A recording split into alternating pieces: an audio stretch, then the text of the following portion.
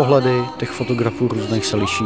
Liší se pohled vojáka, ať už mě nebo Dana Hlaváče, eh, liší se pohled fotoreportérů, profesionálů.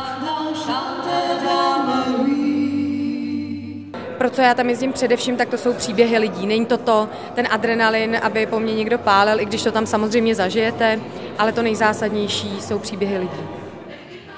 Člověk se představuje eh, nějaké žoldáky, kteří bojují za peníze a jim vlastně všechno úplně jedno ostatní, což vůbec není pravda. A člověk to velice dobře pochopí, když se mezi nimi pohybuje jako novinář, jako fotograf.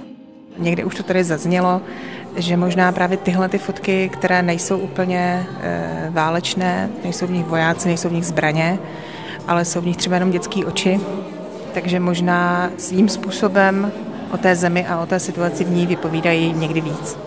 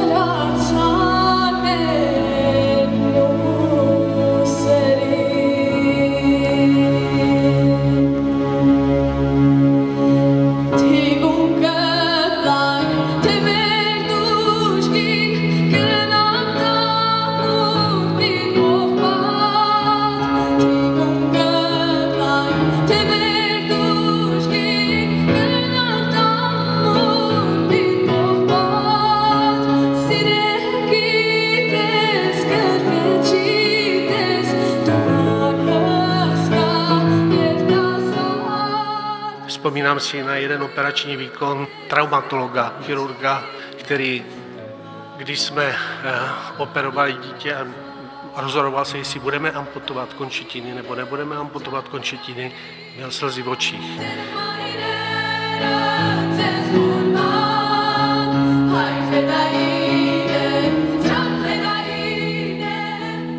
Kdo si asi dokáže představit, jak náročnou, namáhavou a zodpovědnou službou je služba vojenských misí a co znamená pro životy mužů a žen, kteří se pro mise rozhodnou. Musí opustit svůj život před misemi, to znamená první život, a musí přijmout takzvaný druhý život, to je život, který se začne odvíjet již ve chvíli, kdy se rozhodnou vojenskou misi přijmout.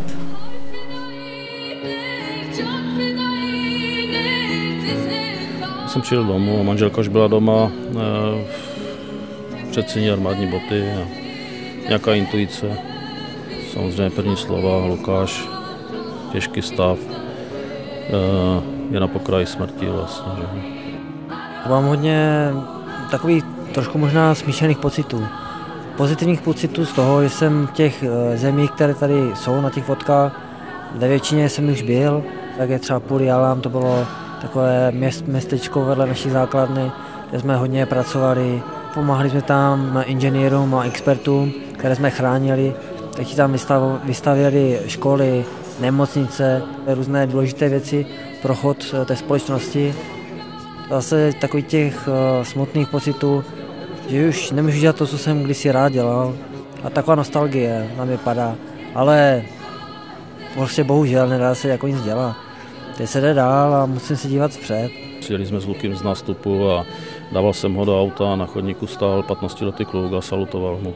A to jsou fakt jako uh, chvíle, kdy si říkám, že to úplně není jakoby uh, hájí všechno.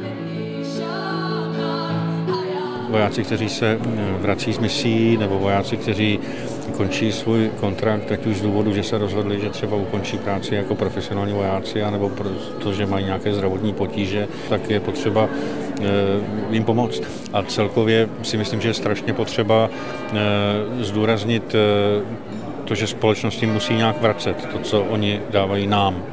A to je to nasazení toho života, to není fráze, nebo nepřeháním, to prostě tak je v řadě těch případů.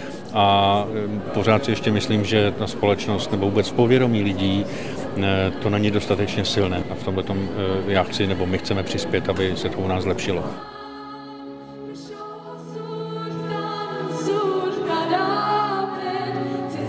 A právě tato výstava, nazvána i jako druhý život, vlastně nám říká o tom, že naše země vždy měla statečné ženy a muže. Bůh žehnej tomuto dílu.